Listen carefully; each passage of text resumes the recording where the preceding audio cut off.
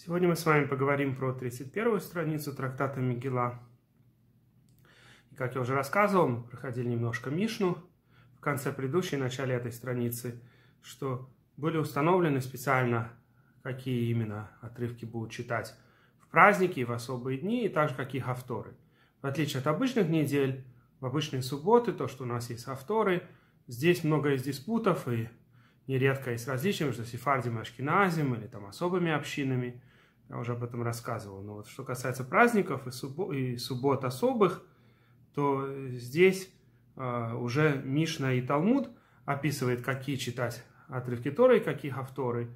Мишна не описывает авторы, только описывает отрывки Торы, а уже Талмуд, Брайты какие-то приводят их авторы тоже. Но интересно, что некоторые вещи поменялись, как я уже стал рассказывать на предыдущем уроке, как мы сейчас увидим. Что касается Песаха, они конкретно выбрали 8 отрывков, которые здесь описаны. Какие именно отрывки читать в праздник Песах каждый день. Ну и понятно, что это был не просто выбор каких-то восьми отрывков, которые говорят про Песах, а было все выбрано очень мудро, с множеством, видимо, разных э, намеков. Например, второй день Песаха – это как раз когда Омер приносили. Поэтому, видимо, выбрали именно во второй день Песха читать тот отрывок, который из главы Эмор описывает Омер. Или, скажем, седьмой день Песаха, да, читать отрывок про э, то, как мы прошли через море, да, которое разделилось, да, разделение моря, э, Криет Ямсуф. Почему? Потому что считается, что именно в седьмой день Песаха все это произошло. А, и описываются заодно хавторы, разные, да, которые выбрали, вот, например, к седьмому дню Песаха, когда читают Бешалах. Соответственно, Хавтору выбрали тоже песня Давида. Потом описывается, что в Шавуот, в отличие от нашей Мишны, которая считает, что отрывок читают про а, сам праздник, у нас обычай, что в первый день Шавуота мы читаем а, Тут Брайта приводит два мнения, и мы говорим, что вне земли Израиля делаем наоборот. То есть оба мнения следуем но в обратном порядке. То есть первый день Шавуота читаем про дарование Торы, считается, что это произошло в Шивот. А во второй день читаем отрывок Шива Шивот из Порлах.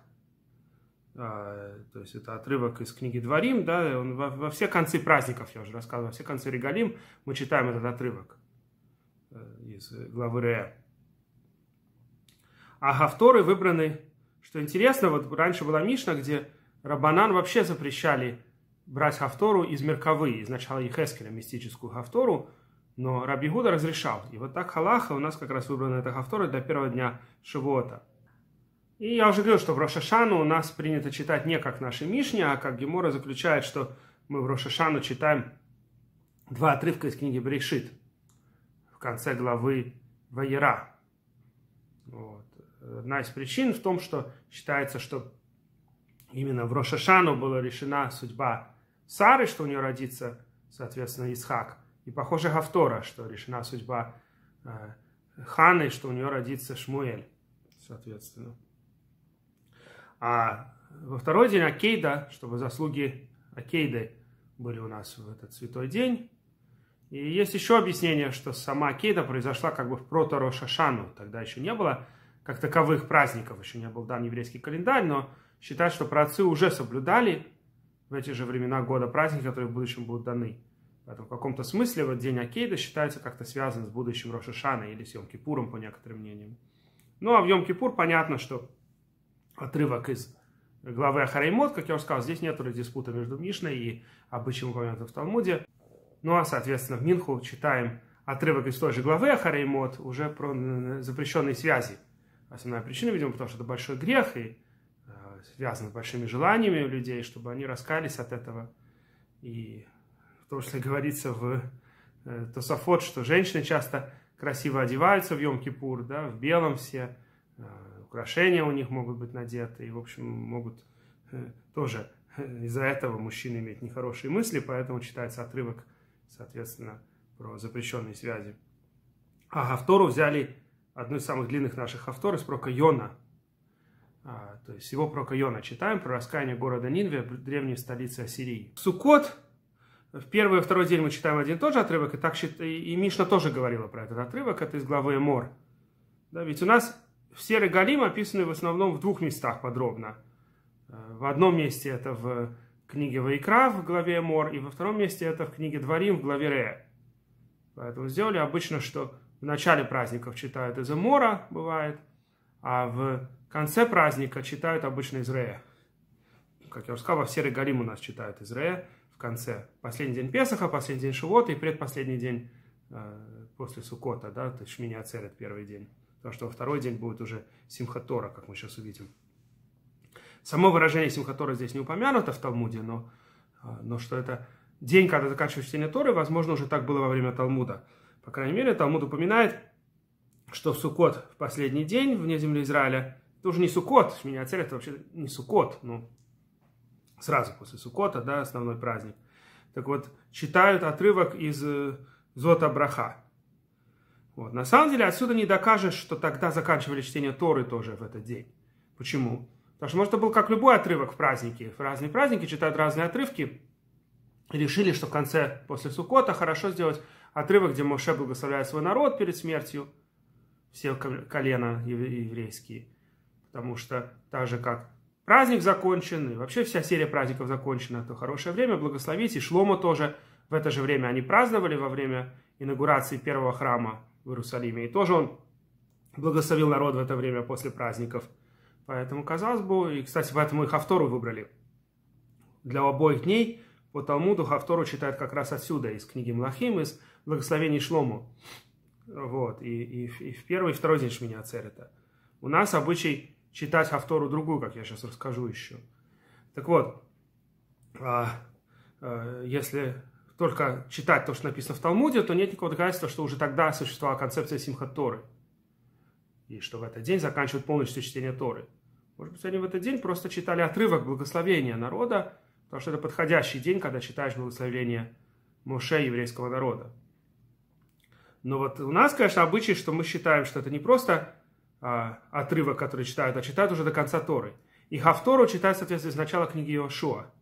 Некоторые не приводят, что так было в Иерусалимском Талмуде. У нас нет этого в Иерусалимском Талмуде, чтобы из Иошуа читать Хавтору. Как я сказал, здесь Талмуд говорит, что читают Хавтору из книги Млахим то Сафот на самом деле удивляется, почему у нас автора не такая, как говорит Талмуд. Но, скорее всего, я уже сказал, что когда появился обычай читать а, всю Тору до конца в этот день, не просто благословлять народ, то, соответственно, больше подходила и Хавтора после смерти Моше про Иошуа. А вот когда этот день был просто днем благословения, и читали Хавтору не до конца Торы, не про смерть Моше, а только благословение еврейского народа, тогда, соответственно, Иошуа совсем не подходил. Они не читали, возможно, 34 главу, последнюю, Торы, где рассказывается о смерти Моше. Возможно, они только читали про благословение. И Хавторы тогда тоже была про благословение Шлому. И про то, как нас отпустил Шлома потом, да, евреев, когда благословил. Там два подряд идущих отрывка фактически, оба из книги Малахим. Вот. Но тогда вопрос, когда же они действительно кончали чтение Торы? На самом деле, в другом месте сам наш трактат Мигила упоминает, что были места в Иерусалиме и вообще в Израиле, были места, где они читали Тору не за год, а за три года, или примерно три года. И эта традиция сохранилась довольно долго еще. В Писаниях Гаоним это упоминается. Три или три с половиной года у них занимало. Они делили Тору не на 54 главы, как мы, а на гораздо большее количество глав, на больше, чем 100 глав. Вот. И многие стихи они тоже делили. Да, бывало, что то, что у нас один стих, у них это могло быть три стиха, как тому упоминают в Кедушин. Вот, поэтому в земле Израиля вообще были обычаи читать Тору не торопясь. И тогда не очень шайх, не очень возможно сказать, когда именно они заканчивали. Когда заканчивали, тогда заканчивали, на какую же главу попадет. Могло быть, что в разных синагогах по-разному читали. Вот. Но что касается вот обычая читать Тору за один год, возможно, они заканчивали в некоторых местах чтение Торы э, перед Йом-Кипуром или в сам Йом-Кипур. А, похожее предположение делает Раврубин Магулис, я в другом месте подробно это обсуждал. Так или иначе, у нас вот уже обычай везде заканчивается чтение Торы в Симхатору, и сама концепция Симхаторы упомянута в книге Зохар. Теперь, в субботу Холамоэда выбрали отрывок, когда, в том числе 13 принципов милосердия, да, отрывок из главы Китиса, мы пропускаем все про грех, а читаем только вот хорошую часть отрывка, а, где Всевышний прощает нас.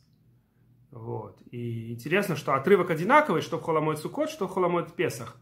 А вот авторы разные. И то, и другое из Ехескеля, правда, взято. И Холомой Песах, и Холомой Цукот читается отрывок из Ехескеля. В одном э, описывается да, в Песах про э, так называемые выш, высушенные, высушенные кости, да, сухие кости. Это еврейский народ, так сказать, в изгнании. Он иногда подобен, как будто мы мертвые. Но потом мы вдруг возрождаемся, целая армия, да, что снова еврейский народ становится сильным и э, родился как бы заново. И э, также другой отрывок из Ехескеля про какую-то войну в конце дней, Гога и Магога так называемую, ее выбрали для Сукота. Там вообще все эти отрывки, предыдущие э, подряд в Ехескеле, на какие-то авторы попали. Там есть отрывок тоже рядом про то, как в будущем э, северное государство Израиль и южное да, Израиль это Иосиф фактически, самое главное колено, и южное, то есть Иуда, воссоединятся. И этот отрывок выбрали главе Ваигаш. В общем, все вот эти отрывки про концы дней, это все про конец дней, видимо, отрывки. А, они все попали в какие-то гавторы. Вот. Ну и также описывается, что читать а, в Хануку, я уже об этом говорил, в этом нет разницы между Мишной и Талмудом, и что читать в Пурим, и также особо установили, что если суббота падает на Рошходыш, считать конец Ишаяху. А если падает на следующий день Рошходыш, то есть суббота падает прямо перед Рошходышем, тогда читают из э, книги Шмуэля историю с Давидом и Йоханатаном, его другом, сыном Шауля. Когда Давид боялся, что Шауль его преследует и попытается убить, то они договорились, э, сказали, завтра будет Рошходыш, это будет трапеза, в Рошходыш они, у них принято было устраивать как полупраздничный день будет трапезу у царя, и когда меня не будет, говорит Давид, посмотрим, как отреагирует царь. Так вот, выбрали это всегда, когда следующий день Рошходыш, как бы напоминать людям, что завтра Рошходыш. Поэтому автора Махар Ходыш, завтра Рошходыш.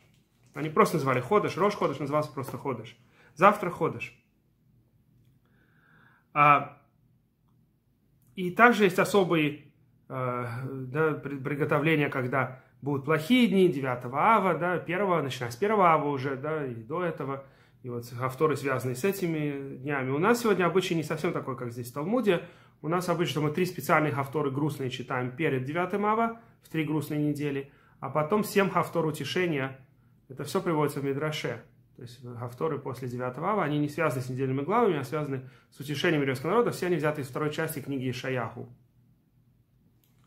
А насчет самого 9 ава, здесь было несколько разных обычаев – но в результате самый последний обычай, который появляем в Талмуде, ему мы следуем, это э, из главы Вайтханан, как раз глава, которую мы будем читать через неделю, после 9 ава, именно «Китолит баним убней баним». Там описывается, как если еврейский народ уже застрянет на земле Израиля и забудет о всех чудесах, которые Всевышний сделал, привыкнет, так сказать, и начнет поклоняться идолам, и будет за это наказан.